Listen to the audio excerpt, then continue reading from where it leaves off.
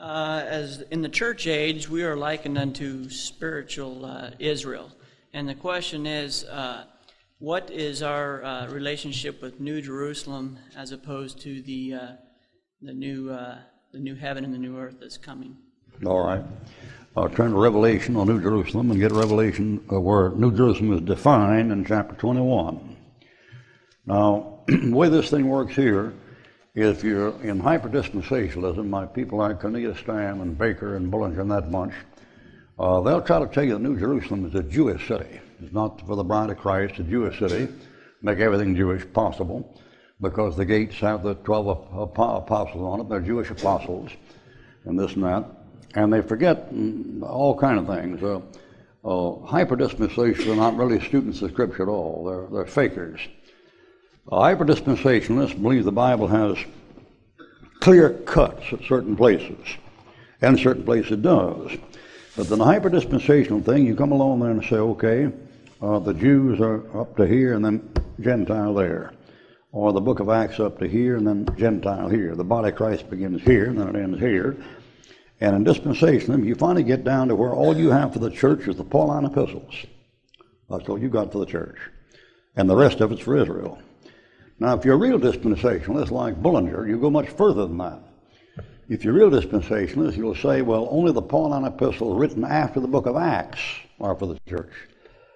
So the dispensationalists among themselves get kind of screwed up. Cornelius Stam says the body begins with Acts 9. Then O'Hair and Baker says the body begins with Acts 18. Bullinger says the body begins with Acts 28. So Bullinger cuts out everything during the Acts period as applying to the church and makes it all Jewish. And his reason for that is the act the apostles, the Jewish apostles, are ministering to Israel, therefore the signs are for them, not for the church, so forth and so on. But that thing ain't going to work. If you ever take that position, you've got to throw away Romans. It's written during the Acts period. Right. You've got to throw away 1st and 2nd Corinthians. They're written in the Acts period. You've got to throw away Galatians and 1st and 2nd Thessalonians. You've got to tear your Bible all to pieces if you mess with that thing. Well, that's what the effort is. Now, before we get into this, notice that Israel and the church have three things said about them that no dispensationalist ever got straight. Now, here's the first one. You, as a Christian, are supposed to grow up in the fullness, the stature of Christ. The fullness of Christ. That's liking you to a man, conformed to his image. The body of Christ is likened to a man in that, those pastures. But the body of Christ is likened to a woman. Husband, love your wives as Christ loved the church and gave himself for it. We're a member of his body, bone of his bone, flesh of his flesh. Adam says of his wife, This is now bone of my bone, flesh of my flesh. So the body of Christ is likened to a man and likened to a woman, and by that is not likened to a son. As many received him, they gave child to become sons of God. God sent the Spirit in your heart, crying, Abba, Father, wherefore you're no more a servant, but a son. You're adopted. Now, those are similitudes. See, there are similarities. And those similitudes, the body of Christ is first likened to Christ himself, like a man, the measure of the fullest stature of Christ. Then, like a woman, Eve, the body of Christ, his bride, bone of his bone, flesh of his flesh. Then the son was born of him. That's Israel. Israel is called a man. What's Israel? It's Jacob. That's a man. That's Jacob's name, Israel. Your name is no longer Jacob, it's Israel. You ever, heard Lord, back in the book of Hosea said Jacob has done this and Jacob, Ephraim has done this and Ephraim has done that. He's not talking about the man Ephraim born of Joseph, he's talking about the ten northern tribes. So the nation is likened to a man, Israel. The nation is likened to a son, Exodus. Israel is my firstborn. Go to say to Pharaoh, let my son go, or I'll kill your son, even your son. Right? And a woman, Hosea chapter 2. I'll take her and bring her to the wilderness and speak comfort to her, and she shall sing as she did in the days I brought her out of the land of Egypt. Throughout that Old Testament, Ezekiel chapter 16, Ezekiel chapter 23, is likened to a woman who is a cast off wife. Hosea, thus saith the Lord, I am not her husband, and she is not my wife. Hosea chapter 1, chapter 2. That's one thing these divorced fellows get, get uh, they kind of got a problem with. I mean, Lord says, when I, I divorce that woman, she, don't come, don't you say I've got a living wife. She ain't my wife. These fellows say if they got two living wives, three living wives, they're, they're calling God an adulterer. Of course, they don't know that because that's because they're stupid. Read your Bible and you find out. I get Hosea. I want uh, Hosea and here, get Hosea and get Hosea chapter 2, verse 1 and 2. Israel like unto a woman. Right now, she's a cast off wife. She's a divorced wife that's going to be remarried to her husband. And her husband, not Jesus Christ. Hosea 2 1. Say to your brethren, Ammi, to your sisters, Ruhamah, plead with your mother, plead, for she is not my wife, neither am I her husband. And then on down there, look at verse uh, 13, 14, 15, 16, 17, 18, 19. He's going to remarry her, verse 19. I'll betroth thee. I will betroth thee. God is going to remarry Israel. Right now, she's an adulterous woman put off. How do you know? Chapter 3, verse 1. Thus saith the Lord to me, Go yet love a woman, beloved of her husband, a friend, yet an adulteress, according to the love of the Lord toward the children of Israel. Israel is a woman, and she's a child, and she's a man. Three similitudes. That's true of the church. Church is pictured as a growing the measure of the full stature of Christ as a male. It's pictured as the body of Christ, a female belonging to Christ, and it's pictured as sons born of God.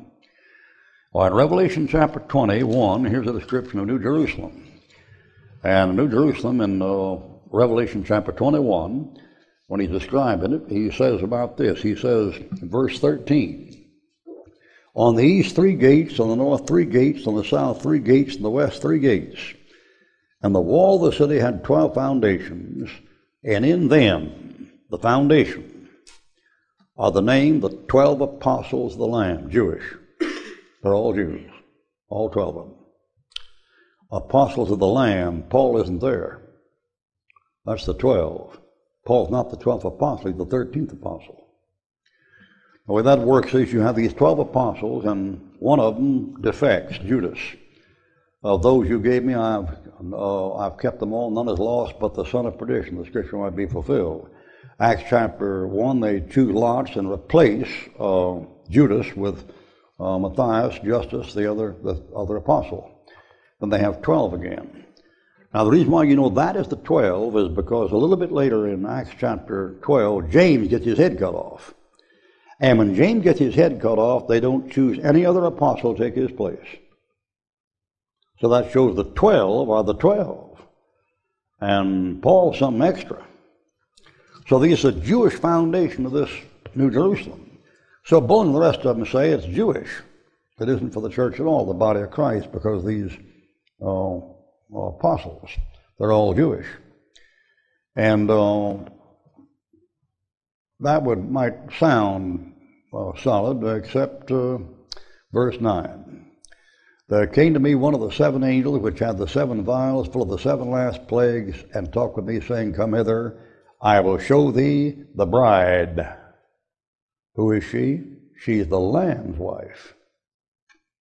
Israel is not the Lamb's wife. Israel is Jehovah's wife. You just read it in Hosea. You just read. The God the Father said, This nation is married to me. I've given a divorce. I'm not married to them. I'll betroth them later in the tribulation. That can't be the Lamb's wife. The Lamb's wife is not an adulteress to step on him. The Lamb's wife is one chaste virgin. She is the only one of her mother, Song of Solomon, that begat her. It can't be. The Lamb's wife has to be the body of Christ, has to be the church. She's a chaste virgin. Turn to 2 Corinthians chapter 11. I'll show it to you. No way in the world you can handle, handle that thing. You thought about those 12 apostles, those Jewish apostles. Well, I'll show you that in a minute. Uh, 2 Corinthians 12, or 11, excuse me. 2 Corinthians 11. 2 Corinthians 11, uh, verse uh, 2 I am jealous over you with godly jealousy, for I have espoused, there's an engagement, to one husband, it's the Lamb. that I may present you as a chaste virgin. It can't be what you read in Hosea. Hosea is a cast off wife who committed adultery. That's Israel. And remarried to the father, Jehovah. This is a chaste virgin engaged to be married to Jesus Christ the Lamb. They're not the same. Well, how come the foundation of the city then is uh, Jewish? All right, and turn to Ephesians chapter 2. Uh, Ephesians chapter 2, and I'll show you what Bullinger missed, and Stam missed, and Baker, and the whole bunch of them. Ephesians 2. Those fellows like to pat themselves on the back, and they think they're the only people who study the Scripture. They call themselves Bereans. And our little paper is called the Berean Searchlight. and Stam, about to die now if he hadn't died, the last thing that happened was he got one of the boys from our school named Richard Jordan and got him screwed up. but he couldn't unscrew him in the King James Bible. So Richard Jordan made a mess up there. And he got Richard Jordan up there in Chicago, that Berean outfit, made him associate pastor. And Richard got in there, and Richard was taught how to preach on the street. And he was taught King James. And he did pretty well for a while, and then Cornelius began to get on him about the King James. Cornelius Stam was a five point Calvinist who used the ASV and the RSV. I've got all his books. I've got all of them. There's about 12 of them. And he's a five point Calvinist. He believes absolute predestination and unconditional election, this and that. If you want the documentary material, you find the appendices of my commentary on the, on the uh, pastoral epistles.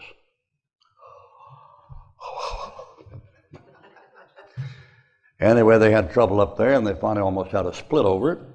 And uh, during that time, the fellow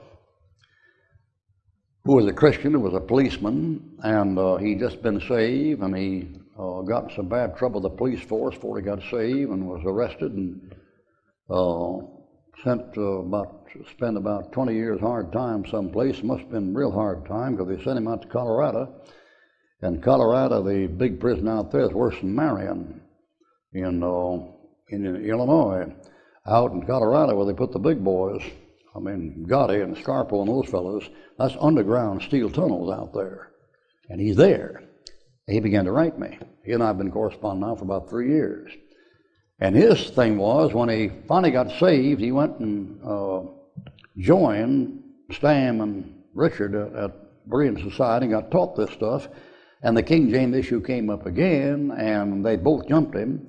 And he told Richard Jordan, I thought you told me it was the King, the Bible was the Word of God. He said, I think you need to talk to Brother Stam. So Stam had already messed up Richard Jordan the King James Bible. And so went to Stam, and Stam told him that neither I nor Jordan do believe of what Ruckman believes about it, and then they had a big split in the Berean Society. And it wound up with Richard Jordan taking half of them out, going one way, and Stam going the other way, and they're split all to pieces now. And this guy in prison is mad enough to shoot because he was deceived. Richard Jordan made him think that he still believed the King James Bible is the Word of God when he didn't. That's the kind of stuff you get into. And uh, what these fellows say, we're Bereans because we study. I'm quoting Acts chapter 17. The Bereans searched the scriptures to see if these things were so, therefore many of them believed. So they say the, the Bereans searched the scriptures. They call themselves Bereans to make you think they searched the scriptures. Therefore, they know them better than you do because they search them. And it's rightly dividing the word of truth. Now, anybody knows that you should rightly divide the word of truth. Anybody who knows the Bible knows you have to be a dispensationalist of some sorts. You say, why? You got two testaments. You want to put them together? Everybody makes a division between Malachi and Matthew. I mean, the fellow says not a dispensationalist, he doesn't believe the Bible. So that's true, but they make you think that they're able to rightly divide, and make these proper division in the right place, and they don't know how to do it. Now I'm gonna I'm still on this New Jerusalem thing, and I'll get back in a minute, but this needs to be said. Uh, brethren, uh, rightly dividing the word of truth is not limited to any such simple procedure as saying Hebrews and Revelation are tribulation for the Jews, and Romans to Philemon is the church for Paul, and Acts the transition period. Now, doctrinally, that is partially so. But boy, oh boy, I'll show you to me. I'm in John. First John. If we have fellowship one with another, uh, uh, we confess our sins, faith does forgive us our sins and cleanse from all righteousness. We walk in the light as He in the light. We have fellowship with one another. And the blood of Jesus Christ, God's Son, cleanses from all sin. Tribulation of the Jew. If you put it over there, you know what it means? It means you shouldn't confess your sins. If that's true. That's where they put it. Now, if that's true, it means you shouldn't confess your sins. You're not in the tribulation. You're not Jewish. Right? See, once you say Hebrews to Revelation is just for the tribulation, you got yourself in a jam. Because there are all kinds of things there that are right down your alley. For example, the one effectual sacrifice of Christ on the cross is in Hebrews. And that's for you.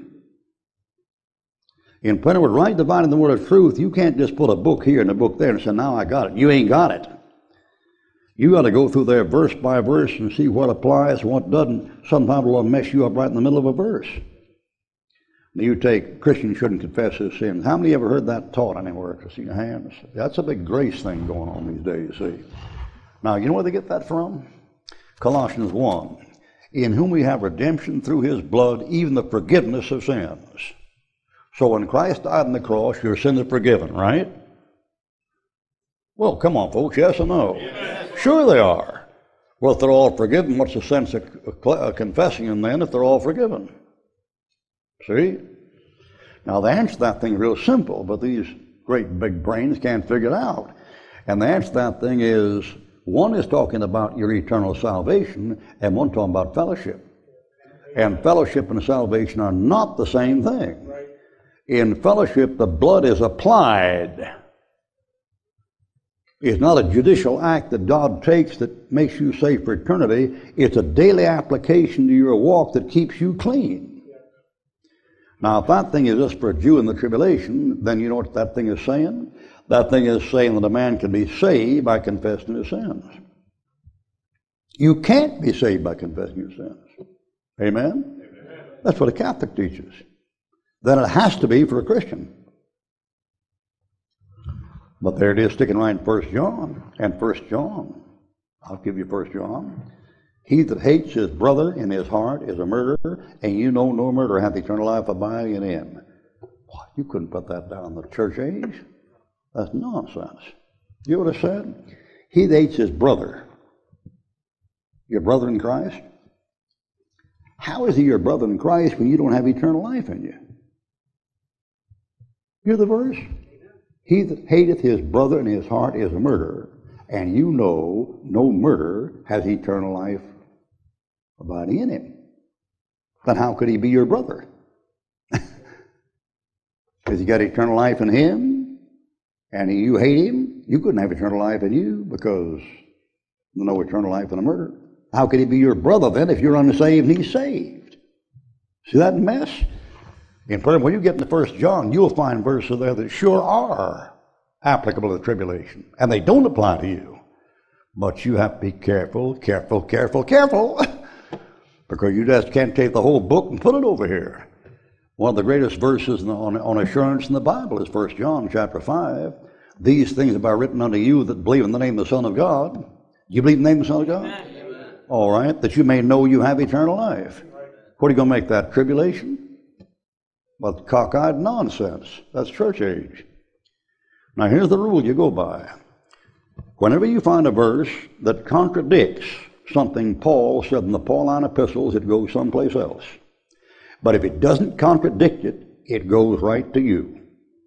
In plain words, the Pauline epistles are the standard for judging whether the other verse applies to you or not.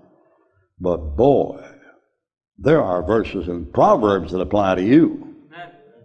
It's full of them. I can take back the Psalm and find you verse after verse that applies to a Christian. That's David speaking under the law.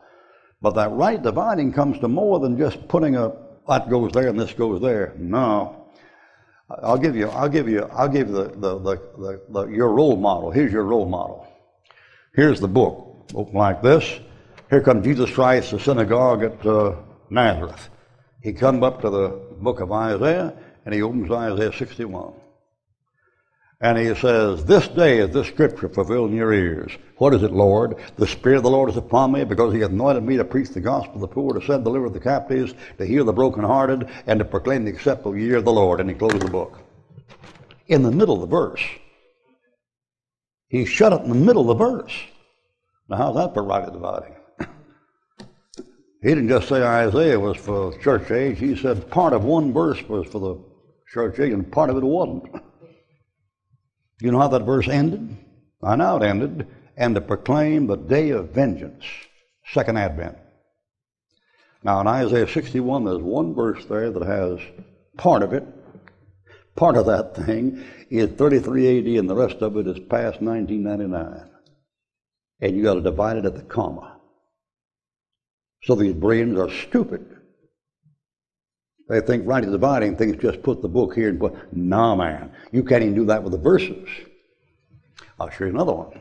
Matthew, when Matthew and Christ shows up and gets to talk around, going around Bethlehem, uh, Matthew says, Then it was fulfilled was written by Isaiah the prophet, saying, and he quotes Isaiah, The people that dwelt in the shadow of darkness, uh, shadow of death, the great light has shined upon them. You know, he quotes that verse. You go back and check that verse in Isaiah, and Matthew leaves out 17 words out of that verse. Just takes him right out. You know why he does it? Because the whole two verses that deal with that thing Matthew quoted are second advent verses. And Matthew applies them to the first advent, and to do it, he has to extract 17 words out of the verse to make it fit. And he does. Subtract them from the Word of God. the Holy Spirit will do it. The Holy Spirit knows that book so well, He knows just what to take out and just what to put in. I'll give you one more. Paul says it is written, that Joshua shall live by faith. No, it ain't. You never read that anywhere in the Old Testament. Isn't that something? Now, Brian can't handle this stuff too heavy for him. His mind is going, oh, I'm in Romans, Paul said, that Joshua lived by faith. The Old Testament doesn't say that at all. What does it say? The just shall live by his faith. How come he left out the his? Because Paul knew something and Habakkuk knew something that no professor at BBC knows. He knows in the Old Testament there's an element of works with faith, so he says the just shall live by his faith. But you don't live by your own faith.